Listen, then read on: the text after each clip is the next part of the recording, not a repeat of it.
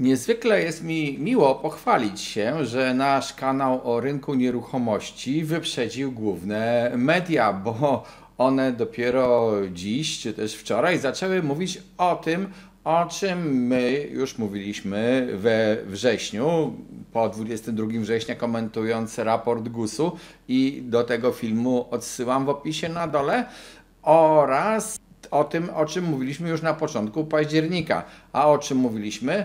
O zapaści w budownictwie, w szczególności w rozpoczynaniu nowych budów.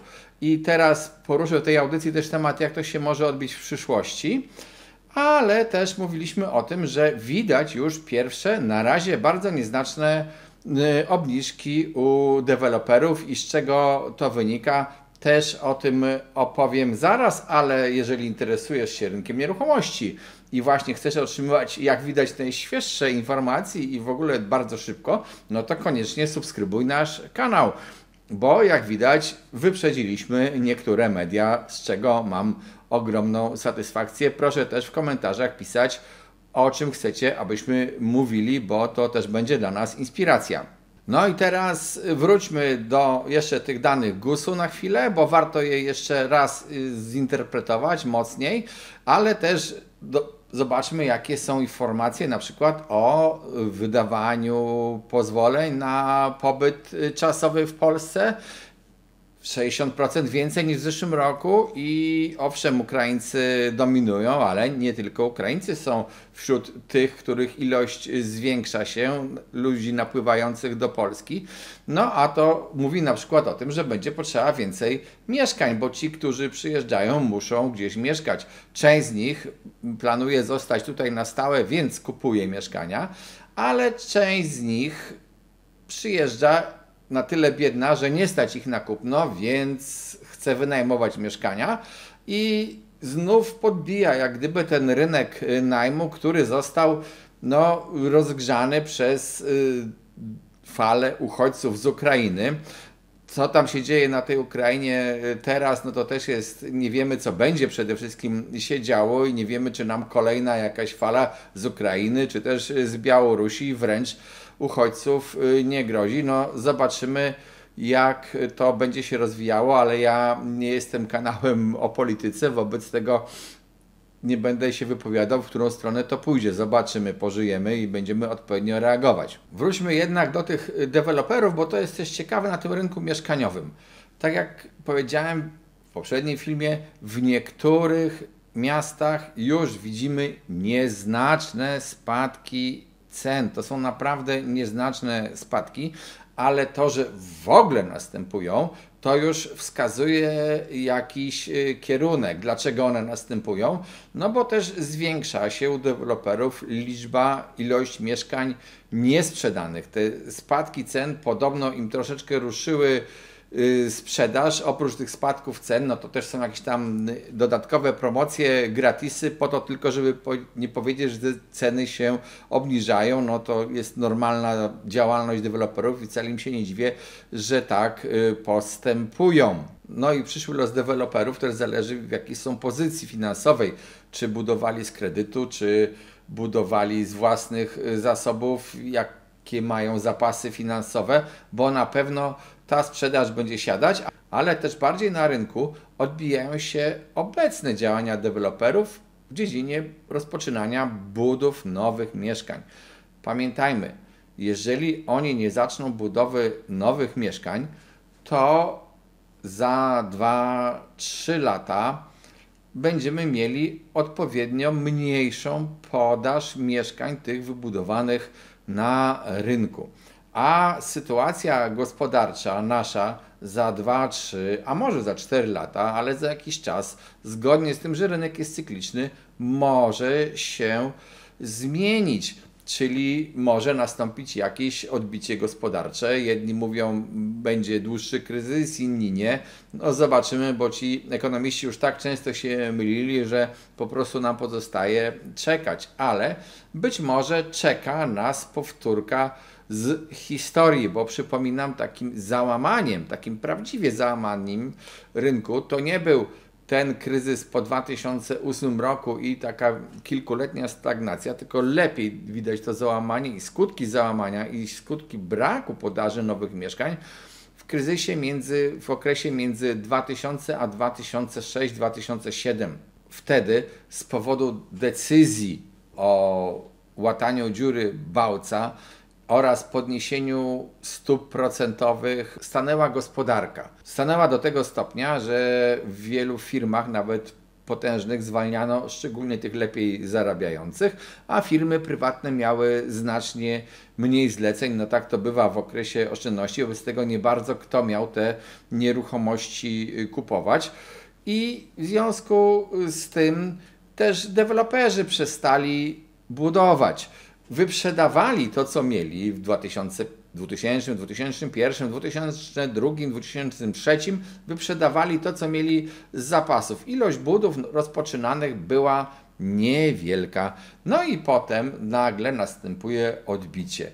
Nagle w ogóle hurra, akcja kredytowa, bierz kredyt na mieszkanie, to jest super, pewna lokata, nawet damy Ci na 130% wartości mieszkania kredyt. Przypomnijcie sobie te czasy. Tak banki y, zalały rynek pieniędzmi z kredytu, no i to się musiało skończyć tym, że nastąpiła ogromna winda cenowa.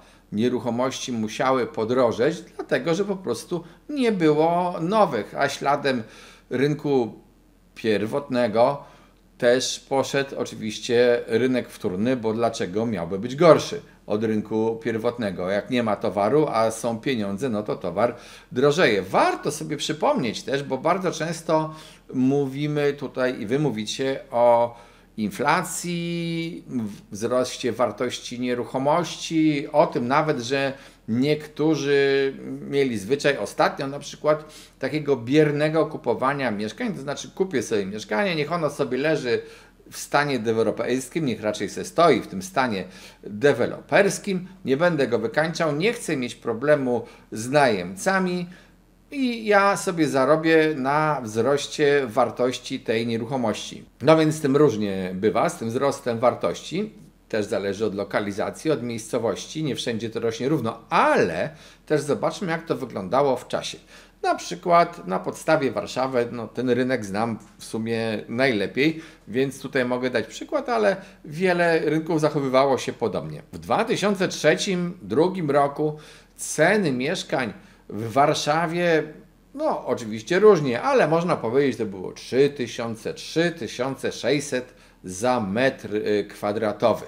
Wtedy kupienie mieszkania i dzisiaj jego posiadanie, no to był wielki zysk, dużo większy niż inflacja, bo na przykład takie 3500 w roku 2023, to uwzględniając inflację na koniec roku 2021 to było około 5450-5500 zł mniej więcej.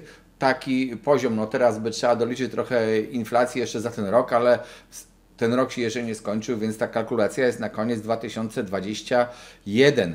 Mieszkania na pewno w Warszawie są droższe niż 5,5 tysiąca. To w ogóle byłby cud kupić y, mieszkanie za takie pieniądze. Y, no, można dyskutować, bo to oczywiście też jakie to dzielnice i tak dalej, ale trzeba liczyć się z ceną powyżej i to zdecydowanie 10 tysięcy w większości dzielnic. Natomiast ten sam rachunek dla kogoś, kto kupił w 2008 mieszkanie, to już tak y, radośnie nie wychodzi, bo wtedy niektóre mieszkania były po 9 tysięcy, 8 nawet, a y, dzisiaj no znowu jest te 12 czy tam ileś tysięcy i to tak mniej więcej wygląda, że one podrożały o tyle co inflacja lub niewiele więcej. Oczywiście to tutaj nie spierajmy się o szczegóły, bo teraz zależy to w jakiej lokalizacji i tak dalej, i tak dalej. Różnie to było, ale to porównanie coś pokazuje. Pokazuje to, że ktoś, kto kupił mieszkanie w 2003 roku, czwartym, dzisiaj może się czuć mocno zarobiony. No oczywiście takie mieszkanie musiałby otrzymywać, jeżeli by ono stało puste. ktoś, kto kupił je w 2008, niekoniecznie, ale znowu, jeżeli ktoś kupił w 2000 na przykład 12 lub 13 roku, to już ten zysk ma większy. To wynika po prostu z tego, jak cyklicznie się zmieniały ceny mieszkań, ale też tak naprawdę to jeżeli to mieszkanie stało puste i nie było wynajmowane, no to jakieś koszty jednak trzeba było ponosić. I wtedy ten rachunek znacznie się pogarsza i można spokojnie udowodnić, że kupno w niektórym okresach mieszkania i takiego trzymanie po prostu na zapas takiego pustostanu nie przynosiło korzyści finansowych. Dużo lepiej było to wsadzić w jakąś inną inwestycję, w jakąś inną lokatę. Jakie wnioski wyciągnąć z tego, o czym y, powiedziałem? No, można wnioskować, że obecne działania deweloperów dzisiaj brak rozpoczynania nowych budów, czy też raczej powiedziałbym mocne ograniczenie tych budów, spowoduje również mniejsze parcie na materiały budowlane, mniejsze parcie na robociznę budowlańców, co spowoduje, że te rozdęte koszty budowy mogą w najbliższej przyszłości nieco zmaleć, no bo ci ludzie muszą przecież z czegoś żyć, zarówno ci handlujący materiałami budowlanymi, czy producenci, czy też ci budowlańcy. Nadto dzisiejsze przykręcenie kurka kredytowego mocno e, wybija nabywców, więc w ogóle jest perspektywa taka, że te obniżki u deweloperów mogą być z miesiąca na miesiąc coraz e, większe. A chciałem zwrócić uwagę, że w ogóle deweloperzy lepiej czują rynek niż ludzie indywidualnie posiadający mieszkanie, więc oni jak gdyby szybciej pozbywają się złudzeń co do możliwości sprzedaży mieszkań za jakąś cenę.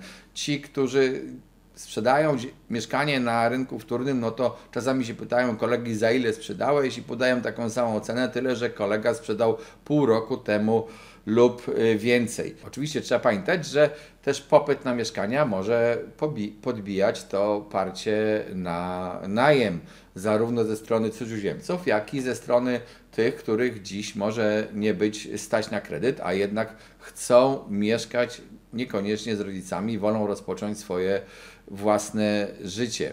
Perspektywa jest taka, że jeżeli nie zajdą jakieś nieprzewidziane sytuacje, to po prostu za kilka lat możemy mieć do czynienia z mocnym odbiciem rynku. Jak mocnym? No to zależy, jak będziemy prędko wychodzili z kryzysu. Jeżeli to będzie jakieś gwałtowne przyspieszenie, to może się powtórzyć historia z lat 2004-2006. Jeżeli to będzie takie powolne ożywienie gospodarki, no to będziemy raczej jechali wzorem tego, co się działo między 2012-2013 a latami późniejszymi. W każdym razie daleko byłbym od twierdzenia, rynek nieruchomości padł i w ogóle leży martwy. To jest nieprawda. Cykl gospodarczy mówi, że on się odbije. Kiedy? Nie wiemy, bo ja nie mam szklanej kuli. A naprawdę to, co się dzieje za naszą wschodnią granicą, może zmienić nasz rynek nieruchomości w dowolnym kierunku, oby w tym lepszym. Słuchajcie, jeżeli chcecie wiedzieć o rynku nieruchomości oraz o tym, co się na nim dzieje, nowościach, trendach, subskrybujcie nasz kanał, piszcie nam w komentarzach, o czym chcecie, żebyśmy mówili. Niektóre komentarze Wasze pamiętam, zapamiętałem sobie i audycje będą w przygotowaniu, tak jak na przykład o może podatkach przy zamianie mieszkania. No i krótko mówiąc, trzymajcie się.